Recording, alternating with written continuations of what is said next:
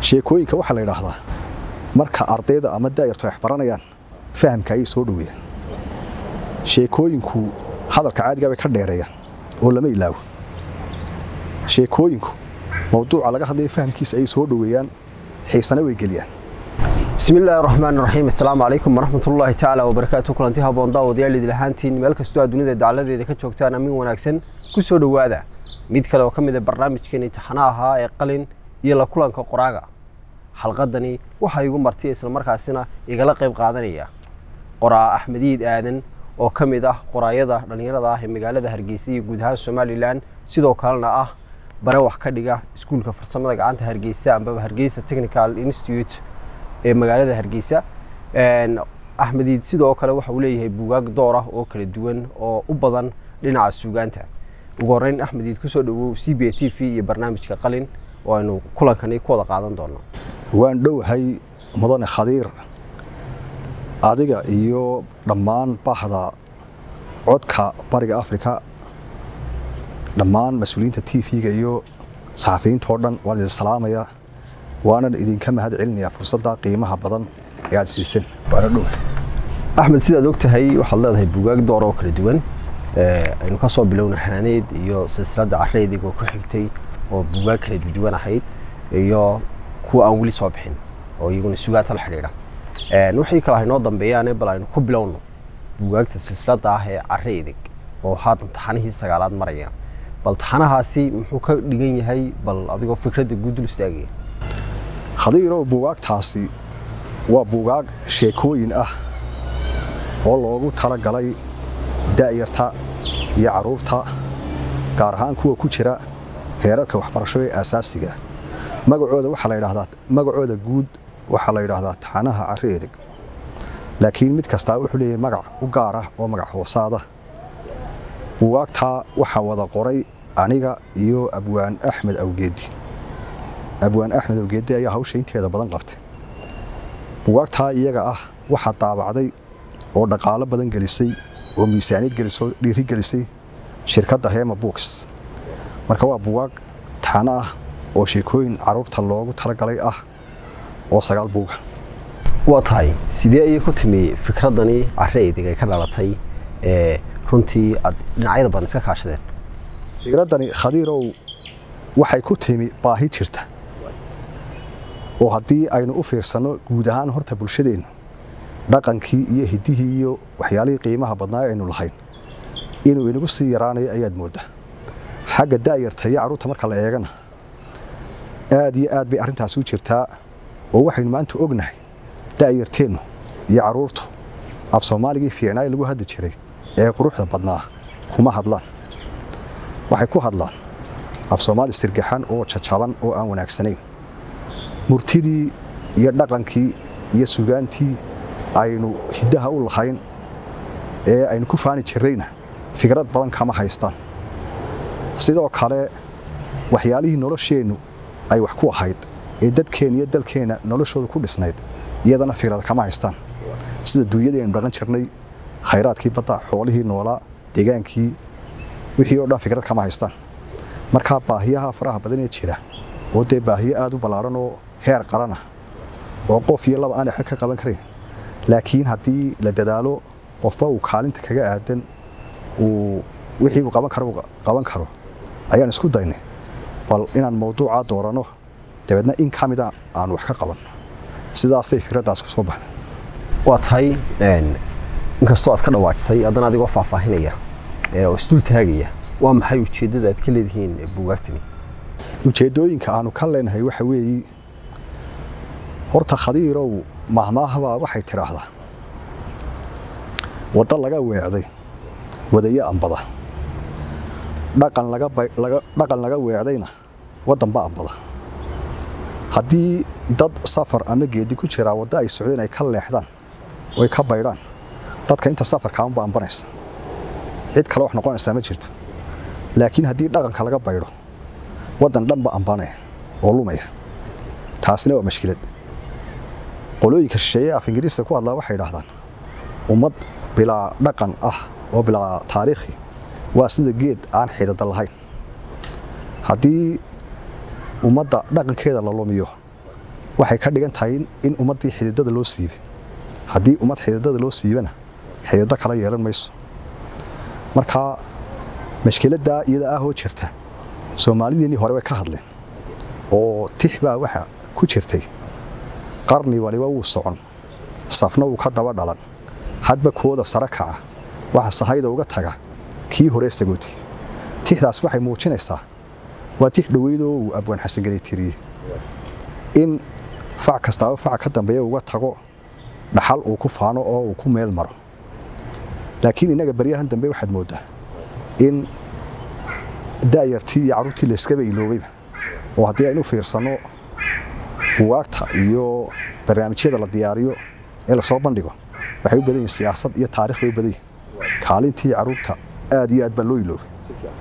Marka ujeeddooyinka aan buwaagtan ka leenahay waxa weeye in ay soo nooleeyaan oo carruurta ay baraan in badan oo ka mid ah sheekooyinkeennii hore. Had iyo jeer bani aadamku khadiirow sheekooyin jacaylka iyo xiisaha sheekooyinka guud ahaan bini aadanka iyo adduunka o dhan waa laga simanya carruur iyo cirwale waa la wada jecelya sheekooyinka. Oo qur'aankeena imika haddaad u fiirsato qisas badanoo waxaa ku jira ambiyadii iyo ummadihii hore uu ilaahay nooga warramayo oo loogu talagalay inaynu wax ka baranno oo aynu ku cibro qaadanno sheekooyinka waxaa la yidhaahdaa marka ardayda ama daayartu ay wax baranayaan fahamka ayay soo dhoweeyaan sheekooyinku hadalka caadigaa bay ka dheereeyaan oo lama ilaawo.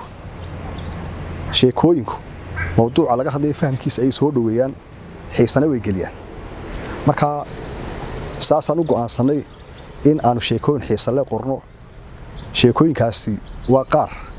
Miyiga dalkeenna aad looga yaqaano waa sheekooyin waayeelkii hore xasuusin doona berigii ay yaryaraayeen ee looga sheekayn jiray. Waa sheekooyin ay ku jiraan maad madadaalo qosol murti af maahmaah tixe gaagaaban iyo dhaqan baa ku jira. Intaasoo dhan marka laga taga haddana xirfadda qoraalka xirfadda akhriska ee da'yarta ayay kor u qaadayaan. Sidoo kale garaadka da'yartana way dhisayaan waxay ka helayaan dhaqan iyo af iyo hiddahoodii wax badan bay ka baranayaan.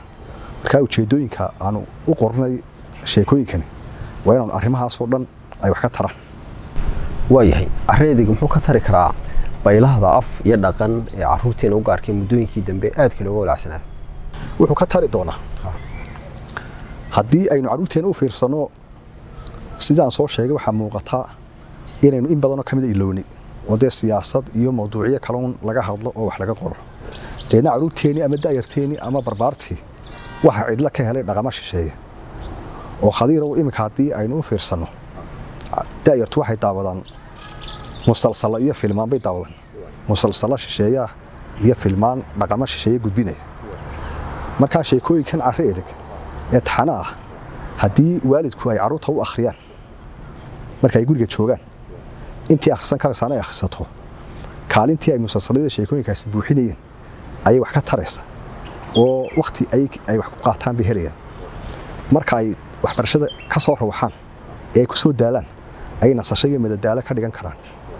Waxbarashada lafteeda haddii lagu daro tusaale ahaan dugsiyada loogu kaabo lafteeda waxbay taraysaa marka waa sheekooyin haddii daayarta loo akhriyo baylahda haysataa ee ka haysataa afkooda iyo dhaqankooda iyo suugaantooda wax weyn ka taraya waxaynu aragnaa axmed iidow inagoo ku soconna qora in marka dadkeennu ay baranayaan luuqado kale ay inta badan akhriyaan sheekooyinka amba waxa la dhaha noveliska ma is leedahay waxay u dhigantaa marka soomaaliga la joogo noofaladii dadku ay luuqadda kale ku baran jireen? Noofaladu waa bugaag laga lagu qoro sheekooyin mala awaal ah oo dhaadheer laakiin waa sheekooyin dhaadheer kuwani laakiin taxanaa careedeg waa sheekooyin gaagaaban oo carruurta loogu talagalay halka noofalada inta badan ay dadka waaweyn akhristaan laakiin ummadaha kale noofalada waxa u dheer iyaguna sheekooyin gaagaaban oo carruurta loogu talagalay way leeyihiin story telling bay dhahdaan waa loo akhriya carruurta marka innaga kaalinta carruurta sheekooyinkan gaagaaban waxay soo noolaynayaan qayb aynu berigii hore lahaan jirnoo lailoobi dhaqankeenii hore waxaa jiray sheeka dhaqameed iyo sheeka caruureed iyo sheeka xariiro. Marka qaybta sheeka caruureedda ayay wax ka taraysaa laakiin halkaa haddii aan in yar ku daro afkeenna waxaa lagu magacaabaa afka hooyo af soomaaliga. Hooyada macallinka koowaad ee laga bartaa waa hooyada.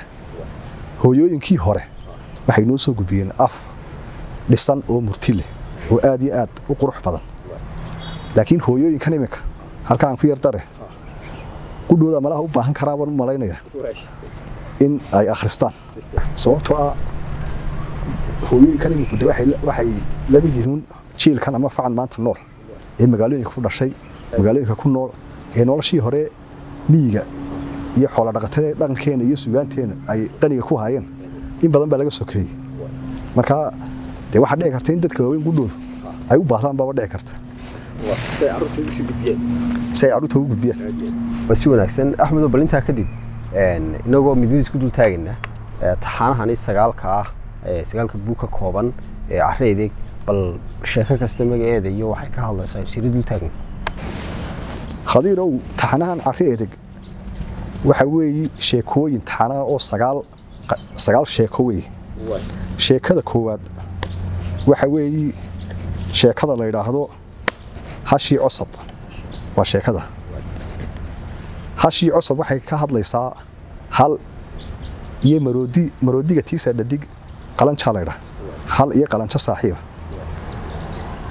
Hashi iyo qalanjadiibaa labadooduba isku mar bay curanaya. Hashiina waxay dhalaysaa nirig yar. Maroodigii qalanjadahana uu fanays ku dhalaya.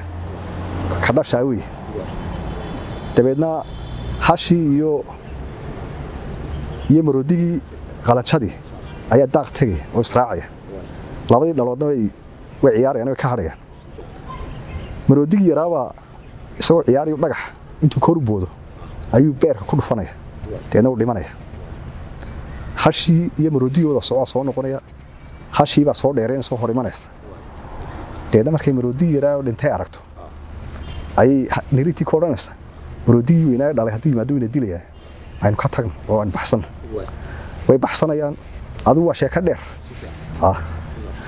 Sheekada labaad waxa weeye waa wiilcaanood wiilcaanood waxay ku saabsan tahay wiil laba dhalood haysata.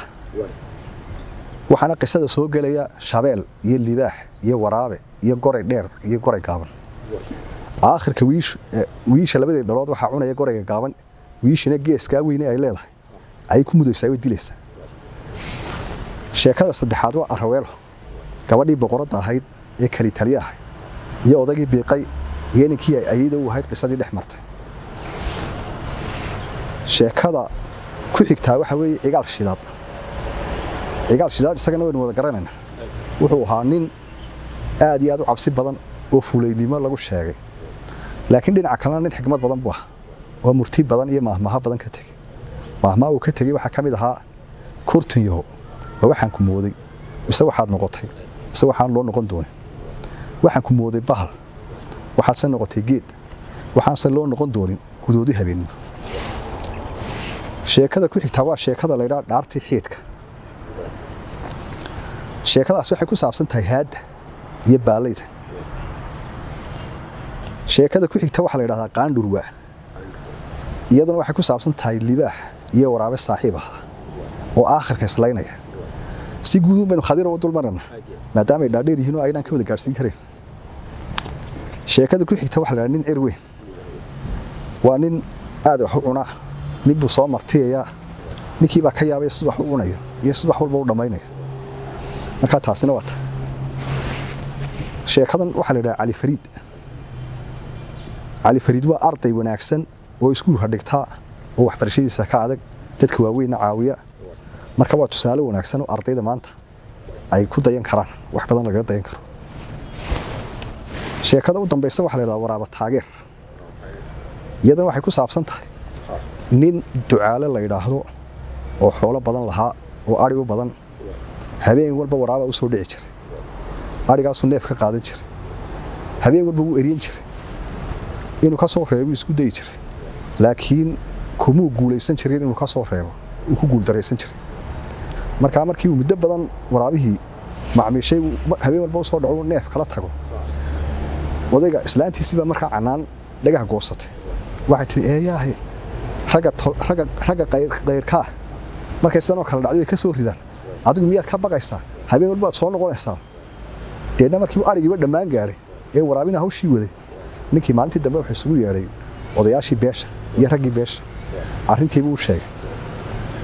Dabeedna waxaa la yidhi waraabuhu halkuu ka soo dhaca halkii uu ka soo dhacayey iyo halkii uu ka baxayey ayaa la eegay. God weyn baa la qoday. Maalin dhan baa la qoday. Godkii baa la dhameeyey. Duur iyo caws baa lagu daboolay. Si hadhow markuu waraabu soo dhaco neefka qaato. Ee uu baxisina Ha. halkii uu marayay baa laga qoday. Si ugu dhaco marka waxay dhahaan markuu waraabu soo dhaco ha. ee uu neefka qaato ee uu baxisina godkaasuu ku dhici doona waay markuu godka ku dhaco Ha. adigu ha ugu waay aroornimadaynu iman doonna deedna markaasaynu ama ku dumin ama meesha ku dili doonna waayahay buu odhanaya habeenkii buu iska seexanaya waraabi baa saqdii dhexe imanaya neefkii buu qaadanaya wuu la baxsanaya isagoo la baxsanay godkii ku dhacaya odaygii ducaale taladii ahayd ha eryana aduu iska daa wuu ilaaway dee nin maanta o dhan shaqaynayey oo daalan buu ah wuxuu isiri eryo ka soo reeb godkiina wuu iloobay waraabihii ordaya godkii ku dhacay. Ducaalina isagoo ordayay godkii kaga daba dhacay. Gudihii godkii bay ku wada dhaceen. Gudihii godka waxaa isugu yimid. Waraabihii iyo neefkii iyo ducaale waraabihii halkaasuu istaagay. Neefkii iyo ducaalena halkan istaagay. Dabeedna arrin cajiiba halkaa ka dhacday. Ducaale wuu baqaya wuxuu is leeyahay bila waraabaan dhibaato ku geysta. Waraabaa qudhiis buu baqaya ducaale isdhi godka iskaga baxa. Godkii buu ducaale kari waayey. Dhowr jeer buu isku dayay ka bixi kari waayey isagoo arrintu halkaa taaganta Ha. halkii salaankayd laga bixi lahaa waraabaha taagan waay. Waraabii baa mar dambe booday ka bax waay. Wuu bixi kari waay. Wuu soo dhacay. Haddana wuu booday wuu soo dhacay. Wuu booday wuu soo dhacay. Mar dambe intuu xoog u booday ayuu qarkii soo qabsaday godka xaggiisii sare meel qarka qabsaday ducaalaa soo ordo waraabigu baritaaro u saaray dibadda u saaray sidii waraabi ku baxsaday ducaalana markii dambe ka soo baxay godkii neefkiina ka soo saaray aroortii nimankii oo socda ayaa yimid. Way salaameen waar ducaale bal war. Waraabihii soo godkii kumuu dhicin. Haa wuu ku dhacay. Markaas nimankii farxeen guul guul guul bay idhaah laakiin imika kuma jiro buu markaas oo maxaa dhacay? Dee markuu waraabihii neefkii la baxsaday ayuu godkii ku dhacay. Anna waan isloo waan eryado kaga daba dhacay. Markii dambe lafayga halis galeenna waraabihii intuu booday dharka soo qabsay mashkiladiisii baan iska saaray dhibaatadii. Dibaddaas kaga saaro u baxsay nimankii inta yaabeen bay idhahdeen waraabe taageer waraabe taageer waraabe taageer. Ninkii waraabe taageer buu bixiyey sababtoo ah waraabii dhibaatada u ta- u geystay. Halkii meesha lagu qaban lahaa ayuu taageeray siduu baxsan lahaa markaa sagaalkaa sheeko sheekooyinka taxanaha aad ilmuhu inta xilligu ku jiro barbaarta axmedow in loo wariyo amaba looga sheekeeyo qisas dhacay amaba malaawaala korriinkiisa door intee leeg bay ku leeyihiin koriinkiisa wax weyn bay u tarayaan oo beryihii hore haddii aad dhaqankeena baadho qaybta sheekooyinka iyo sugaanta waxaad ogaanaysaa dadkeenii hore da'yartee barbaarta inaanay ilaawine qayb dhan oo dhaqanka ka mid ah ay siiyeen. Hal xidhaalayaal baa wax loogu sheegi jiray. Hal xidhaalayaashaas waxay isugu jireen qaar garaadhisa iyo qaar maskaxda da'yarta lagu korinayo. Hees hawleedda waxbaa loogu sheegi jiray. Oo tusaale ahaan heesta ma- hee- heesta maqasha. Markay ciyaalku maqasha la joogaan heesta caanka ee tiraahda maqaley warlaay ma lagu warramay in cali la dilay oo cumar la dabay oo dhiig qulqulay oo waran dhul galay. Sheekadaasi dhinac waxa weeyi waa sheeka hawleed ee waa hees hees heestii maqasha weeye dhinacna waa tacliin oo ubadkani waxbaraysaa qisaa ku jira. Dadku laba sigood bay qisada ku jirta u sheegaan cali iyo cumar baa meesha ku xusan. Dadka qaar waxay dhahdaan waa qiso hore soomaalidu taqaaniyo cali iyo cumar ay soomaalidu yaqaaneen qiso dhacday bay ku salaysantao colaada dadka qaarna waxay u maleeyaan waxay isdhahdaan male waxaa loo sheegaya ilmaha asxaabti ayaa loo sheegaya bay isdhahdaan laakiin taa dambe caddayn sugan looma hayo.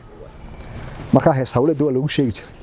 Sidoo kale markay carruurtu la joogaan adhiga hees baa jirtay ahayd naahoy dayoy daye faarax naahoy dayoy heedhe daye faaraxay daye faaraxay heedhe faadfaatisoy heedhe faaduma ardoy heedhe waa lay dabayaaye waa lay dilayaaye waa lagu dabayaaye dibaddaan u hoydaaye ha ii soo dhowaan nacamti waa sheeko waa hees muujinaysa markay carruurta adhigii la joogaan haddana dhinaca kalena digtooni bay baraysaa dacwada ayay ka digtoonaanayaan oo dacwadii bay leeyihiin ha ii soo dhowaan haddaad adhiga cunto anigana waa laydil adigana waa lagu dabi markaa saasaa hees hawleedana loogu sheegi jiray.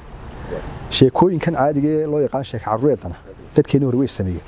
Oo da'yarta ay u sameeyeen. Waxaasoo dhan waxaa loogu talagalay in da'yarta garaadkooda lagu dhiso afka ay ku bartaan xigmadda ay ku bartaan xoolahan aynu dhaqanno iyo dugaagga xidhiirka ka dhexeeya ay ku bartaan guud ahaan nolosha guga iyo jiilaalka iyo barwaaqada iyo abaarta buuraha beriga bannaanada. Waxaasoo dhan baa ku wada xusan oo ilmihii xagga dhaqanka wuxuu ka noqonaya qani inuu noqonaya. Marka sheekooyinkaa looga sheegay. Laakiin wakhtigan xaadirkaa dee carruurta waxba looma sheego oo khadiirow inagu weynu ognahay. Marka guryaha habeenkii loo soo hoydo qof kastaaba mobile buu ku mashquula mobilkaasuu eegaya ilmihii yaraa inankii yaraa mobilku eegaya inantu mobilku eegaya odayga waalidku inuu mobilka xitaa eegaya laga t v uu daawanayo. Cid wada hadlaysaaba ma jirto. Halka berigii hore dee sheekooyin iyo wax magaranaysa laga sheekayn jiray marka waa sidaa taasna watahay axmedow sidaad ka dhawaajisay waxaa jiray waxyaabo kale oo carruurta lagu madadaalin jiray wakhtigaa hore. Carab jalqin baa ka mid ahayd saad sheegtay. Waxaa ka mid ahayd ciyaaro u gaara carruurta. Halxidhaalayaal baa ka mid ahaa. Taxanaha hareedig carreedig qayb ma ka yihiin amba ma idiin qorshaysan tahay inaad kuwaasina ku soo dartaan mise dhinaca sheekooyinka unbaa ilaa iminkeeda ka go-an inaad xoogga saartaan? Su'aal wanaagsan khadiirow su'aashaas. Taxanahan carre edeg ee sagaalka buuga iminka waa sheekooyin sheekooyin loogu talagalay carruurta oo kuma jiraan wax carab jalqin la xidhiidha ama mawduucyada kale aad sheegtay. Laakiin mawduucyadaas waa mawduucyo muhiima. Carab kale wuxuu ahaa mawduuc wuxuu ahaa arrin loogu talagalay in carruurta dhawaaqooda hadalka lagu saxo. Qolooyinkan sheeg pronunciation bay dhahdaa pronunciation inaguna dhawaaqa hadalka ayaa lagu sixi jirno. Tusaalahaan carab waxaa ka mid ahayd diingodgal godgoraygal goraygodgal goddiingal oo lagu soo celcelinaya waxaa ka mid ahayd caanaan dhamayo biyo kama daba kaban karo oo si dee deg dega lo odhanayo ugu soo celi. Waxay arrin carabka iyo ku dhawaaqista hadalka lagu toosinayo. Halxidhaaluhu iminka tusaalahaan halxidhaalaha halxidhaalihii ku saabsanaa hashii labadii halaad ee labada nin saaxiibkii ay lahaayeen. Waxay dhaleen labada halaadba way dhaleen mid kastaaba nirig bay dhashay laakiin labadii halaad nirgoodii mid ka mid waraabe cunay nirigtii hadhay ay wada ogolaadeen labadii halaadba way ogolaadeen labadii ninoo ka maqnaa ayaa yimi. Dabeedna isku qabseen nirigtii hashaydaa dhashay iyo hashaydaa dhashay. Dabeedna sidee baa loo kala saaraya labada nin? Ayaa ka mid ah halxidhaalayaasha carruurta la weydiin jiray. Marka markaad taa u fiirsato waa halxidhaalayaasha loogu talagalay garaadka carruurta inay koriyaan waana halxidhaalayaasha la xidhiidha xoolahaynu dhaqanno halxidhaalaha qaar baa la xidhiidha guurka qaar baa xoolaha la xidhiidha. Deedna carruurta waxaa la odhan jiray waxaa loo kala saaraya baa la odhan jiray. Nirigtaa la qaadaya balli weyn oo biyaa ayaa nirigtii lala dhex oo lala dhex maraya. Labadii halaad tii dhashay biyaha way isku soo maqiiqi doontaa oo ka joogsan mayso kale laakiin way ka joogsanaysaa taa markaa biyaha soo gashay joogi weyday ayaa nirigta dhashay. Ninkii taa lahaaba markaa la siinaya marka carruurta waxaa la sii baraya hadhow siday wax u kala saari lahayn baa loo sii carbinaya. Marka halxidhaalayaasha iyo carab iyo hees hawleedada iyo nolosha niminka taagnaya ta mustaqbalka labadaba carruurta waa loogu sii diyaargaraynaya marka taasina saas. Waayahay xaggii qorshaha ma idiin qorshaysanta inay qayb ka noqdaan carre edeg halxidhaalayaasha iyo kuwaasi mise sheekooyinka oo keliya imka horta imika sheekooyinkii baan wadnaa sagaal sheekaanu qornay waxaa laga yaabaa inaanu buwaag kalena soo saarno oo iyaguna sheekooyinaa dhici kara. Marka hadhow waan eegi doonnaa arrintaa baan ka fikiri doonnaa sidaan u soo saari lahayn haddii la waa tahay axmedow guntiga gebagabada ku sii saqaynaa intaynaa ka bixin oo maxay filashadaada ku aadan in mashaakilka jira ee qaarkood aad ka dhawaajisay carre edeg ay xal u noqon karto khadiirow su'aashaasi waa su'aal muhiima intii buwaagtan soo baxeen waxyaalahaanu ogaanay waxaa ka mid ah in buwaagtan aad loo iibsaday. Weliba gaar ahaan qaybtii hore aad iyo aad baa loo iibsaday dalabkooduna uu badnaa. Deedna taasi waxay muujinaysaa wax aad loogu baahnaayo. Markii horena inaga maqnaaynu ahaa iminkana soo kordhay marka jawaabtii aanu hellay iyo dalabkii faraha badnaa ee aan ogaanay waa ka keenay inaanu qaybta labaadna soo saarno marka rajadeedu aad bay u weyn tahay waxaanu rajaynaynaa in kaalintaa bannaanayd ee aan soo sheegnay inay sheekooyinkani wax ka tari doonaan. Laakiin waalidiintuna waxa fiican inay carruurta u qaadaan kuwa akhrisan karana ay akhrista yidhaahdaan. Kuwa aan akhrisan karayna ayagu u akhriyaan. Kelmadaha adagee ku jirana ay u micneeyaan. Waxaa ku jira kelmado af soomaaliya oo wanaagsan oo af soomaaliga quruxda badnaaya. Waxaa ku jira maahmaaho waxaa ku jira tixagga gaaban murti ku salaysan waxaa ku jira erye dhaqan oo kale. Waxaa ku jira dunyada aynu dhaqno magacyadooda iyo dugaagga magacyadooda iyo haadda magacyadooda waxaasoo dhan baa ku jira. Marka haddii carruurtu waxaa bartaan wax weyn bay u noqonaysaa hadday doonto inta ugu yar xitaa hadduu ilmuhu barto. Tusaale sheekada dhaarti xiidka waxaa ku jira coomaadi waxaa ku jira kulaambey waxaa ku jira tuke. Hadduu magacyadaa barto waa wax u kordhay sidoo kale sheekada cigaal shidaad waxaa ku jira maahmaha iyaduna ku jira. Hadduu barto wax soo kordhay sheekada arweelo halxidhaalayaal la furayaa ku jira. Sida dheg laba dame harag labada dhinacba dhogor ku leh. Iyo dhegtii qaansada leekay iyo awrkii caddaysnimaah haddana rabna marka waxaasoo dhan markay loo akhriyo ilmihii isbeddel buu dareemayaa. Xirfadiisii akhriska ayaa kor u kacaysa dhisma ayaa dhisaya. Waxaana jirtay aragti odhanaysa sida loo kala erye badan yahay ayaa loo kala maskax badan yahay ama loo kala garaad badan yahay. Allah u naxariistay abwaangaariya wuxuu yidhi ilmuhu buu yidhi markuu dhasho ee uu aamusan yahay.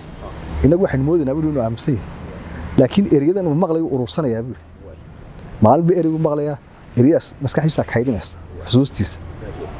Maalinta uu awood u yeeshay eryadii inuu isticmaalo ayaanu nidhahnaa uu garaadsaday buu. Eryadii urursaday ayuu isticmaalaya. Markaa sida loo kala erye badan yahay ayaa xagga garaadkana loogu kala horeeyaa la markaa garaadka carruurtana way dhisaysaa. Dhaqan iyo burtini way ka helayaan intaanaan ka bixin carre edeg axmed aan su'aal kale kaa sii weydiiye waayadii hore siday inta taxana carre edeg imika soo baxaya sagaalka ahi wuxuu la xidhiidhaa sheekooyin dhaqan oo miyigeeni ku saabsanaa sidaynu ognahay iminka soomaalidu inteeda badan magaalooyinkay ku noolyihiin oo carruurta la jaan qaaday magaalooyinkii teknolojiyadda. Ma isleedahay waa loo baahan yahay amba waa suurtagal in la qoro sheekooyin malaawaale maadaama dee aan xilligii magaalada aan sheekooyin carruurta looga sheekeeyo la jaan qaadeen aan la helin in sheekooyin la malaawaalay oo teknolojiyadda iyo magaaliyiinta la xidhiidha carruurtii loo abuuro. Suurtagal ma tahay? Waa suurtagal waana su'aal wanaagsan khadiirow sagaalkan sheeko waxaa ka mid ah sheekada cali fariid layidhaah sheekadaas waa sheeko la hal abuuray wey waanu hal magaalada dhexdeedaanu ku salayn. Halka sideedda sheeke kale sideedda sheeko kale dibadday noo saarayno deegaankii bayna geynaya iyo noloshii hore. Laakiin sheekada cali fariid layidhaah waa magaalada dhexdeedii dugsigii masaajidkii waddada qaabkii looga tallaabayay guddida iskuulka uu ka mid yahay wax akhriskii carruurtoo uu caawinayo magaaladii ku saabsan tahay.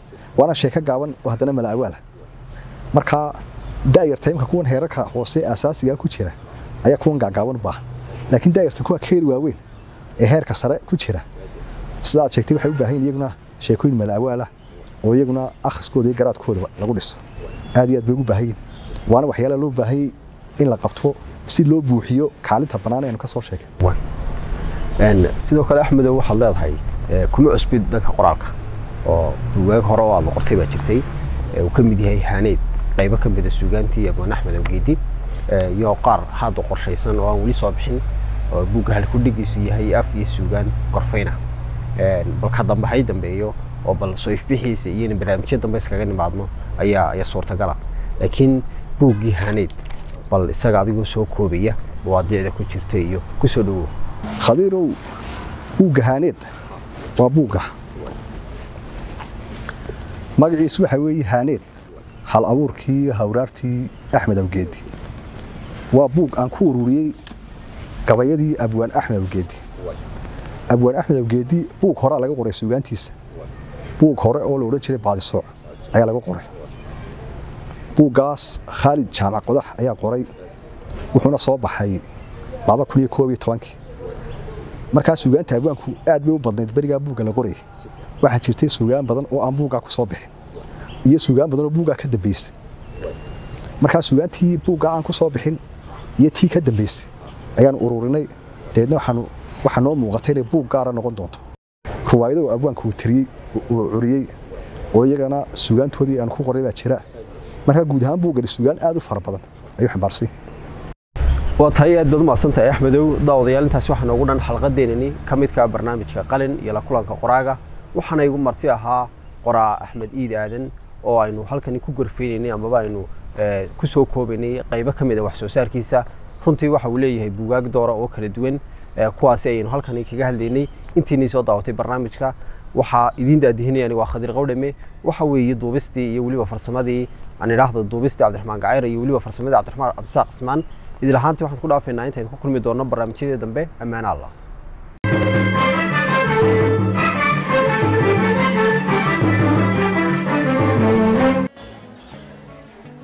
واو اسبوع كيسو في عايز صاحبي waad ka heshay sooma ما شاء الله صح ما عادش بسيط waxaan ku shubtay xidhmo furan toban doolar baad ku shuban kartaa shan baad ku shuban kartaa shan iyo toban baad ku shuban kartaa labaatan baad ku shuban kartaa